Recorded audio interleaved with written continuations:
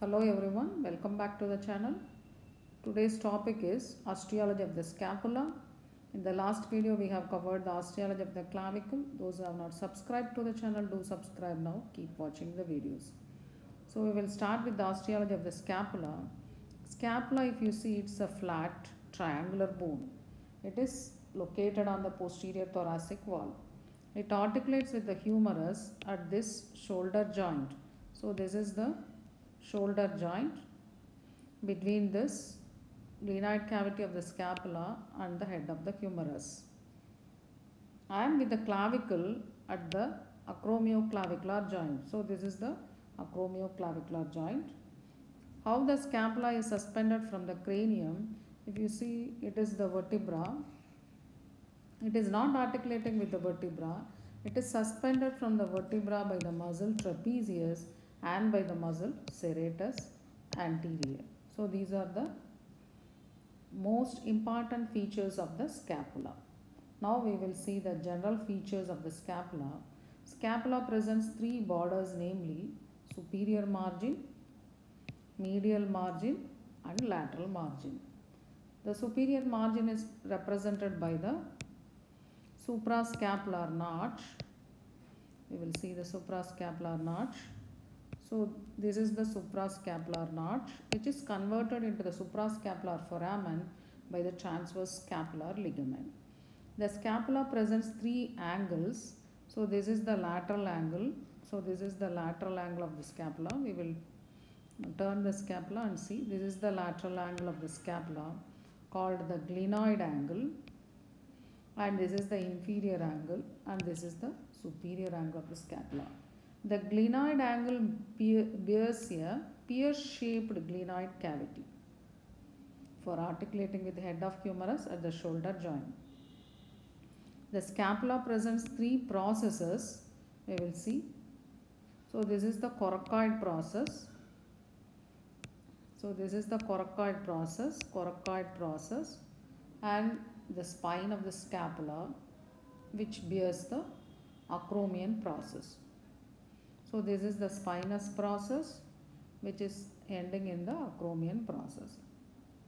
Coracoid process it's shaped like a bent finger. So that is the bent finger. It is like crow's beak. It is an example for atavistic epiphysis. Atavistic epiphysis you should have learnt in general anatomy. The tip of the acromion is the lateral most so this is the tip of the acromion. It is the lateral most palpable bony point of the shoulder. So if you see the upper limb, this is the most palpable bony part of the shoulder. That's why it is called acromion. Acro means and above. Omo means above the shoulder. So this is above the shoulder. So this is the shoulder joint and it is above the shoulder. It is called acromion. Its superior surface of this acromion, it is subcutaneous. You can palpate it. And inferior surface is related to the subacromial bursa. The scapula presents two surfaces. So what is this surface you are seeing is the dorsal surface. It is characterized by a shelf-like projection called spinous process of scapula. The spine of the scapula divides this dorsal surface into so this is the supraspinous fossa and this is the infraspinous fossa. Its posterior free margin of the spine will be called as the crest of the spine. So that is the crest of the spine. If you see the another surface, that surface is called the costal surface. So this is the costal surface of scapula facing anteriorly. So this is these are the surfaces of the scapula. Now we will see the palpable parts of the scapula. So you can palpate the coracoid process below this clavicle in the front. So this is how you can palpate just below the clavicle. So this is below the clavicle. Coracoid tip of coracoid process can be palpated in the infraclavicular fossa. And medial border is also palpable below the spine and the inferior angle is a palpable landmark.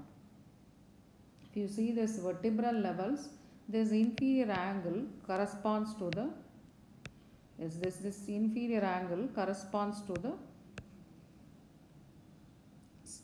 inferior angle corresponds to the seventh thoracic vertebral spine so it is a useful landmark for the counting the ribs and the spine superior angles corresponds to the second thora thoracic spine so this is superior angle second thoracic spine and inferior angle seventh thoracic spine now we will see the muscles attached to the scapula. Then we will thus uh, see the special features of the scapula also. First we will cover the muscles attached to the scapula. Muscles we should see what the muscles attached to two surfaces. So this muscle you are seeing this is the subscapularis. Subscapularis muscle. So this is the subscapular fossa so that is the place of attachment of subscapularis muscle. And this muscle attached near the medial margin that is the serratus anterior. Now we will see the dorsal surface of the scapula. So this is the supraspinous fossa. So here muscle attached is the supraspinatus. And in the infraspinous fossa, infraspinatus.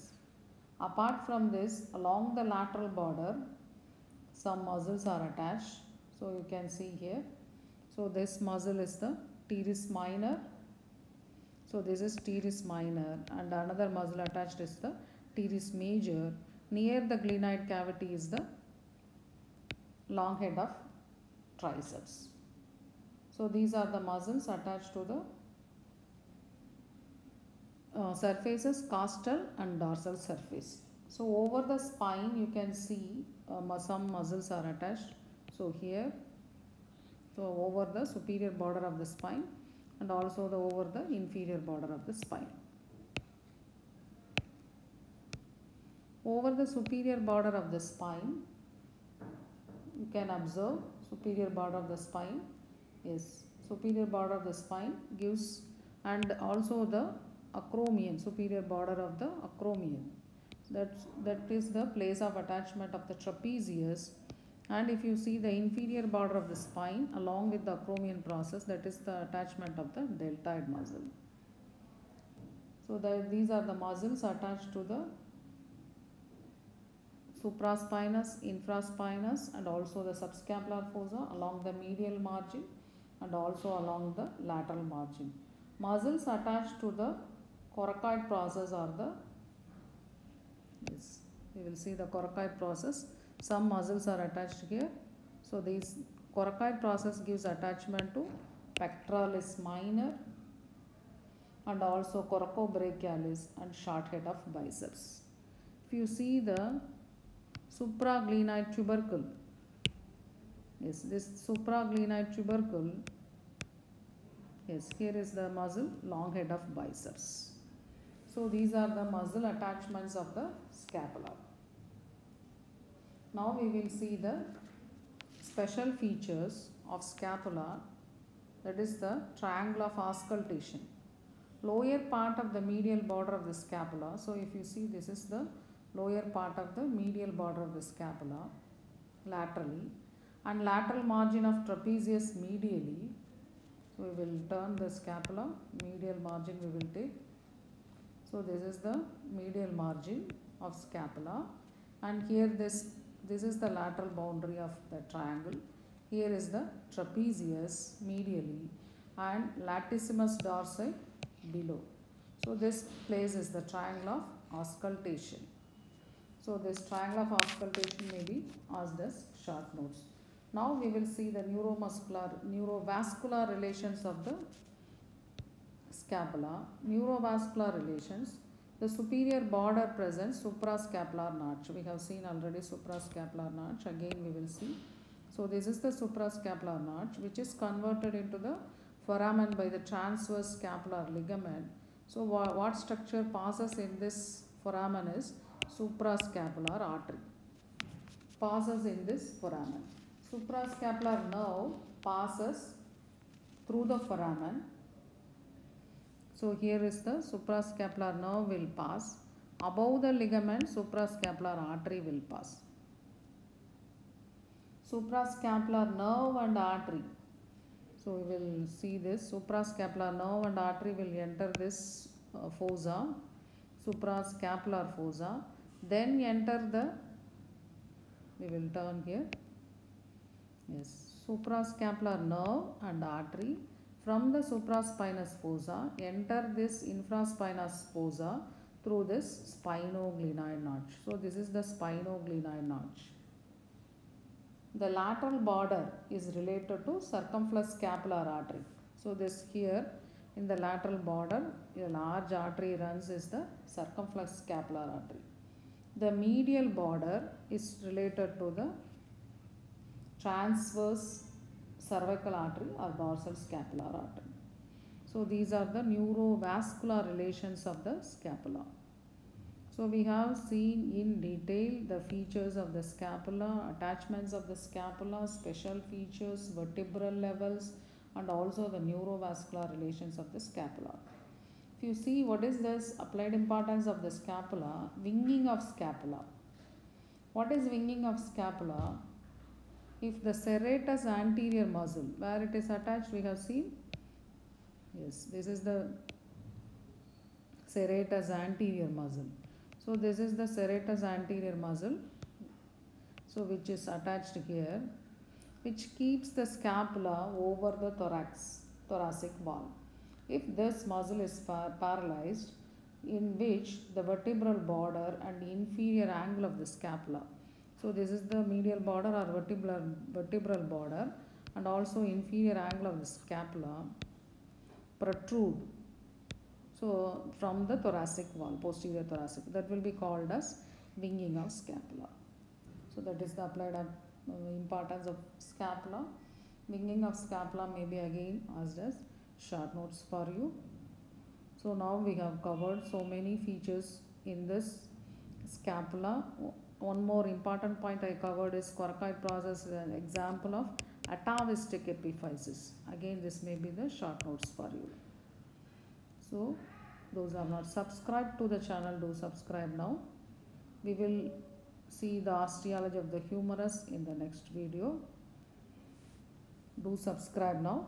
Keep watching the videos. Thank you.